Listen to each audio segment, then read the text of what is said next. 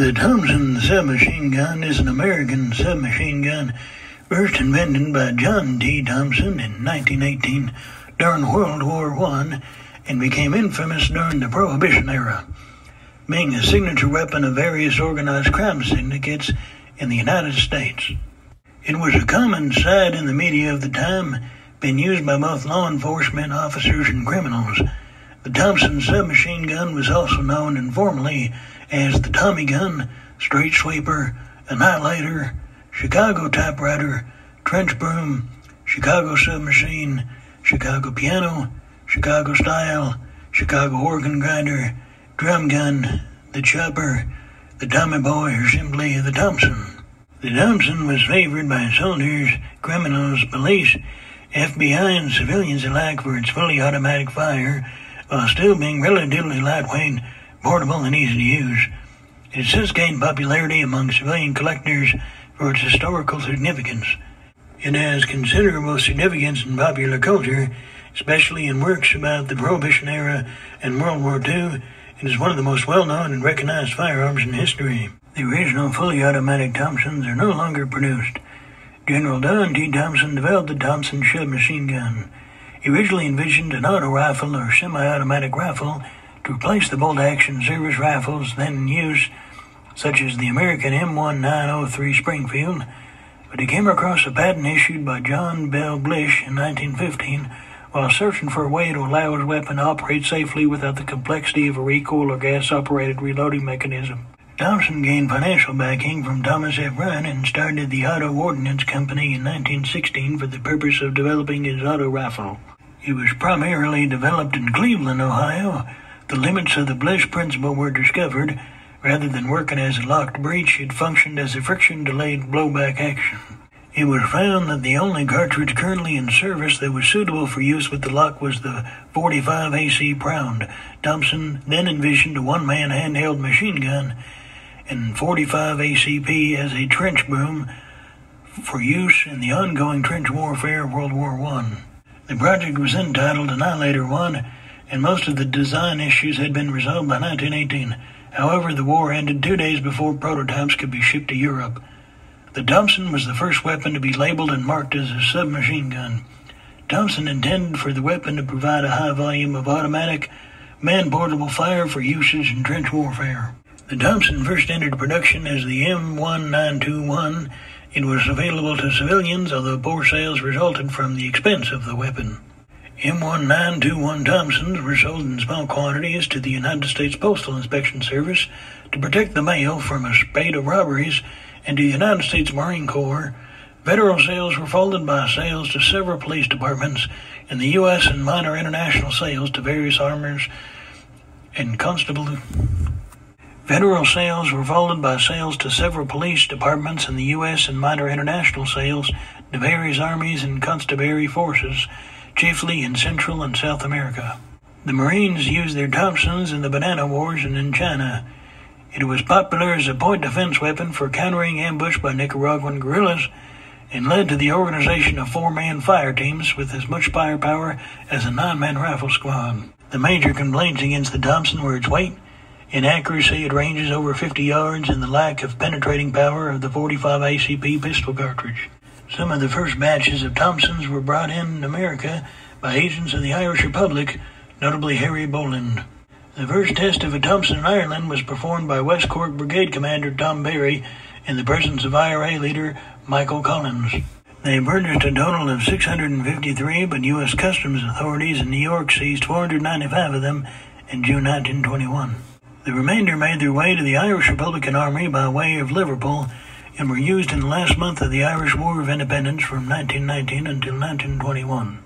After a truce with the British in July 1921, the IRA imported more Thompsons and used them in the subsequent Irish Civil War from 1922 until 1922. The Thompson achieved most of its early notoriety in the hands of Prohibition and Great Depression era gangsters, the lawmen who pursued them, and in Hollywood films about their exploits, most notably in the St. Valentine's Day Massacre. The two Thompson guns used in the massacre are still held by the Berrien County Sheriff's Department. The Thompson has been referred as the gun that made the 20s roar. The FBI first acquired Thompsons in 1933 following the Kansas City Massacre. In 1938, the Thompson submachine gun was adopted by the U.S. military, serving during World War II and beyond. Over 1.5 million military Thompson submachine guns were produced during World War II. Thompson submachine guns were used by both sides during the 1948 Arab-Israeli War. Following the war, Thompsons were issued to members of Israel's Elite Unit 101 upon the formation of that unit in 1953. By the time of the Korean War in 1950, the Thompson had seen much use by the U.S. and South Korean military, even though the Thompson had been replaced as standard issue by the M3 M3A1. The Thompson remained classed as limited standard or substitute standard long after the standardization of the M3 M3A1. During the Cuban Revolution, the Thompson submachine gun was used by both Batista's army and Fidel Castro's guerrillas. Both the latter and the Brigade 2506 also used some during the Bay of Pigs invasion. During the Vietnam War, some South Vietnamese army units and defense militia were armed with Thompson submachine guns, and a few of these weapons were used by reconnaissance units, advisors, and other American troops.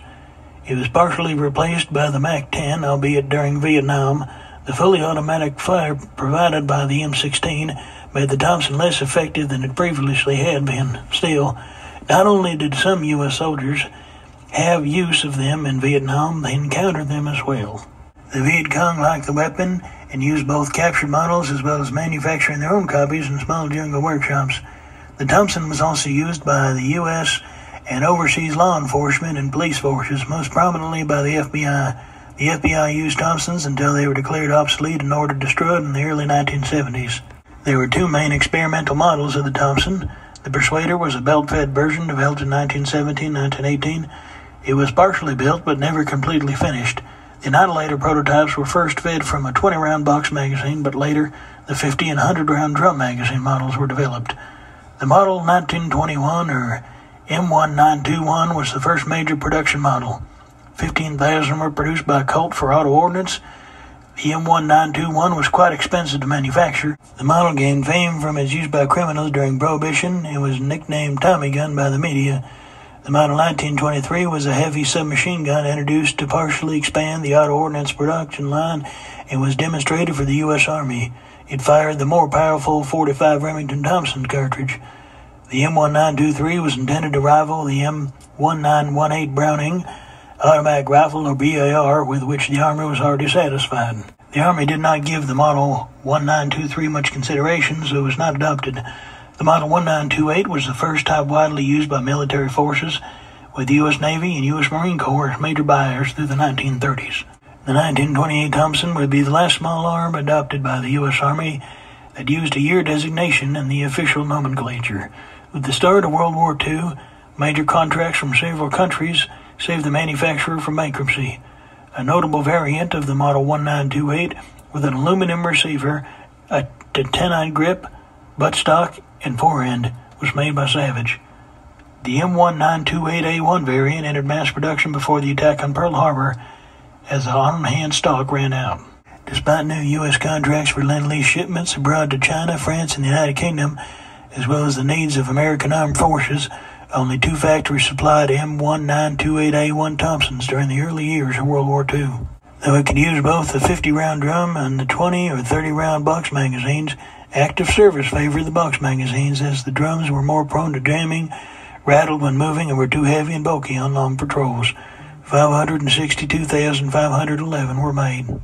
In addition, the Soviet Union received M1928A1s included as standard equipment with the M3 light tanks obtained through Lend-Lease. These submachine guns were used to a limited extent by the Red Army. In 1940, Commonwealth troops in Egypt and North Africa were issued commercial model Lend-Lease Colt and Savage manufactured M1928s. Section leaders carried them instead of pistols or rifles. Many of the Colt models had French language manuals packed with them as they had been abruptly diverted to England after the fall of France. They soon discovered that the weapon was prone to jamming due to sand. It was later replaced by the 9mm Sten gun and Lancaster SMG. Responding to a request for further simplification, the M1 was standardized in April 1942 as the United States submachine gun Cal 45 M1. First issued in 1943, the M1 uses a simple blowback operation with the charging handle moved to the side. The M1A1, standardized in October 1942 as the United States submachine gun Cal 45 M1A1, could be produced in half the time of the M1928A1 at a much lower cost. In 1939, Thompsons cost the government 209 apiece. By the spring of 1942, cost reduction design changes had brought this down to $70. In February 1944, the M1A1 reached a low price of $45 each, including accessories and spare parts, although the difference in price between the M1 and the M1A1 was only 6 cents. By the end of the war, the M1A1 was replaced with the even lower cost M3, commonly called the grease gun.